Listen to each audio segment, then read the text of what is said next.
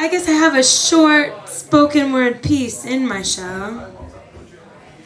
Because uh, my show is really about it's about experiencing sexual assault and the shame that we give to ourselves in our relationship with ourselves after a kind of a, a sexual trauma and also about the shame that we give to ourselves as women for uh, there's a lot of like relation with food uh, eating you know yeah shaming ourselves for being women um, and and our relationship with the patriarchy and how we have all been brainwashed and adapted adopted the the mentality of the patriarchy. So that's the show. It's like big themes, but it's ridiculous. It's ridiculous.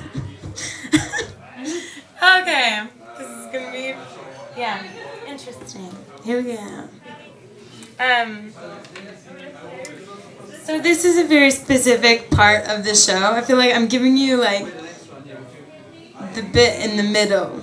So you won't see the clown if you want to see the clown, you gotta come back for the clown. yeah, you got me? Cool. Should there anything else about it before I introduce? Let me just take this off.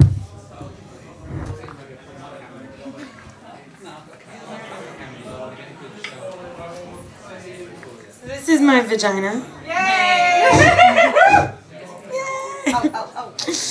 Yeah, this is a vagina positive uh, piece. I've also got vagina earrings Yay. that I'm selling as merch. All right, here we go. um.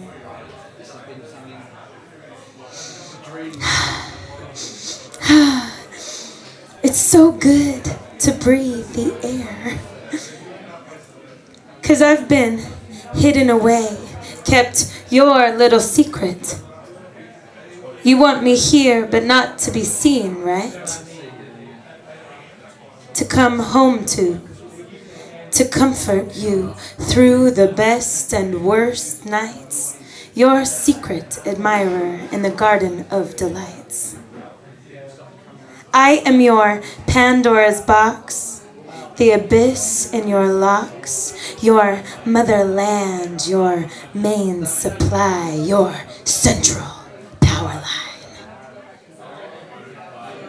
And when I get knocked down, I get up again. You're never gonna knock me down.